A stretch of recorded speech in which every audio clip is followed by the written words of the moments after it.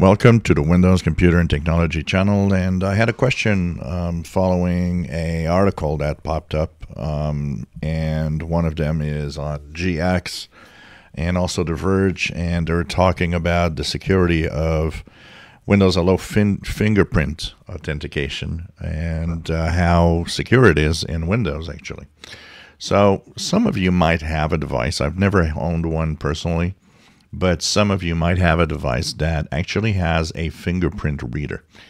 And when that happens, well, you got a setup that can happen in the uh, security side of things where you can actually set up uh, Windows Hello and make sure that everything's fine. So um, when you look at your accounts, for example, uh, there are things that you can check out, and one of them is about the user account and the way that the account is actually uh, going to be um, set up.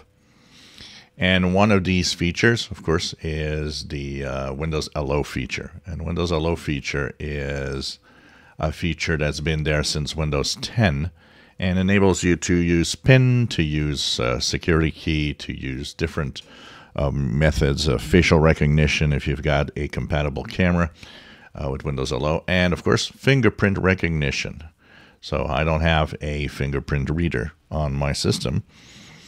Now, the article uh, actually talks about a security flaw in there, and the question that came is Does it mean that Windows um, Hello fingerprint authentication is um, has a problem? And it turns out that when you look at what they did exactly, it's not the Windows authentication. Windows Hello itself is fine. It is not a flaw within Windows. It is actually a flaw depending on how the manufacturer will set up the Windows Hello feature for fingerprint on a system. So not all systems were problematic, and when they actually changed the info, they found that many, many machines and many manufacturers implemented very secure fingerprint authentication. But the um, ones that they actually were able to bypass were Dell, uh, Lenovo ThinkPads, Dell Inspiron or Inspiron, or I don't know, Inspiron, I would guess, 15, and Microsoft Surface Pro type cover with fingerprint ID which was, by the way, the easiest to bypass.